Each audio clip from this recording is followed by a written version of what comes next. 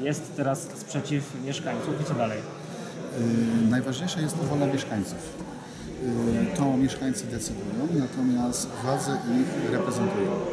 Yy, w tym momencie nastąpiły już pewne procesy realizacyjne, mianowicie jest opracowywany raport oddziaływania na środowisko i to jest już taki element, element tejże inwestycji.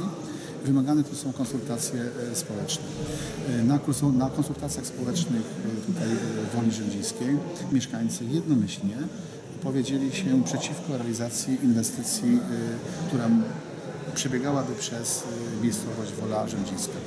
Władze, które reprezentują swoich miesz- mieszkańców, muszą bezwzględnie reprezentować ich wolę i takie, jest, takie będzie stanowisko gminy Tarnów, które będziemy dalej przedstawiać w stosunku do Generalnej Dyrekcji, jak i w stosunku do naszego sąsiada, czyli miasta Tarnowo, a konkretna tutaj y, wola y, mieszkańców Woli Rzędziskiej jednomyślna, to nie jest jednostkowa, tylko jednomyślna, y, jest taka, aby ta inwestycja no, nie przebiegała w granicach Woli Rzędziskiej, ponieważ będzie zbyt duża ingerencja w domostwa, wy- wyburzenia domów.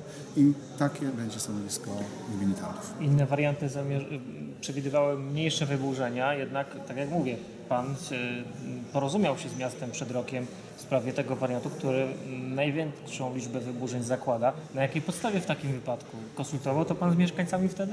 Y, Konsultacje odbywają się cały czas i najważniejsze są teraz. podstawie pan wtedy to...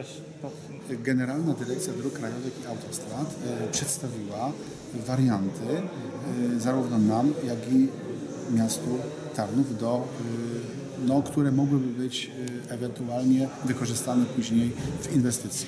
I to były warianty do, do przedstawienia. Natomiast proces cały czas y, trwa i to nie jest z tego roku wysiek, tylko to jest y, kwestia kilku lat, pięciu, sześciu czy siedmiu lat wcześniej, że to nie jest kwe- kwestia roku rok temu. Mianowicie teraz się odbywają konsultacje z mieszkańcami, ponieważ proces projektowania jeszcze się nie rozpoczął. Mieszkańcy po zapoznaniu się bardzo dokładnym, przeanalizowaniu podjęli tutaj de- decyzję, stanowisko. Takie będzie stanowisko gminy Tarnów, aby tutaj wystąpić do Generalnej Dyrekcji, aby ta inwestycja nie przebiegała przez pole rzędzisko. to, to porozumienie z miastem było zbyt pochopne? Ja myślę, że tutaj nie mówimy tutaj o porozumieniu, tylko No, mówimy o tak. rozmowach. Mówimy o rozmowach, były rozmowy i rozmowy polegały na tym, że najbardziej preferowana linia e, przebiegu przebiegała przez środek Woli Rzędzińskiej. I e, nasze stanowisko było takie, aby jeżeli już do inwestycji ma dojść, żeby ona mogła przebiegać e, po granicy gminy Tarnów i Woli Rzędzińskiej. Ale na to nie ma. Ale to jest, ale to są, to były nasze rozmowy. Natomiast jednak najważniejszym podmiotem to są mieszkańcy. I teraz po to te spotkanie robimy, żeby wysłuchać wolę mieszkańców. Wola jest jednoznaczna i dlatego będziemy to realizować. To chyba już całkowicie zamyka sprawę budowy obwodnicy wschodniej, jeśli chodzi przynajmniej e, ze strony woli mieszkańców, tak jak pan powiedział. Mamy demokrację. Konsultacje są po to, żeby wysłuchać zainteresowanych. Y, Obwodnica miała przebiegać przez Wolę Rzędzińską. Spotkanie było zorganizowane, wszyscy mogli tutaj przyjść, frekwencja była bardzo duża. I jednomyślnie, jednogłośnie wszyscy opowiedzieli się, aby ta inwestycja nie przebiegała przez wieś Wola Rzędzińska.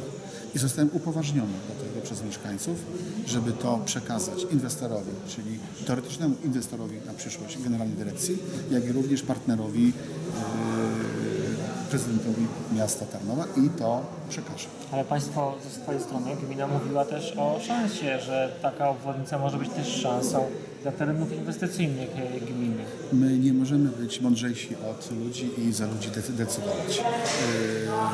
Yy, samorząd polega na tym, że słucha się woli mieszkańców. To mieszkańcy są yy, tym de, tymi decydentami. Oni wybierają swoich przedstawicieli i oni poprzez swoich przedstawicieli wyrażają swoją wolę. Więc my możemy tylko słuchać mieszkańców, ewentualnie wchodzić w dyskusję, natomiast yy, efekt jest jeden. Wola mieszkańców. Tutaj wysłuchaliśmy dzisiaj wolę mieszkańców. Stanowisko mieszkańców jest jednoznaczne. Dlatego będąc reprezentantem mie- mie- mieszkańców Woli Rzęcickiej, takie stanowisko zajmę, jakie sobie wyrazili tutaj na zebraniu.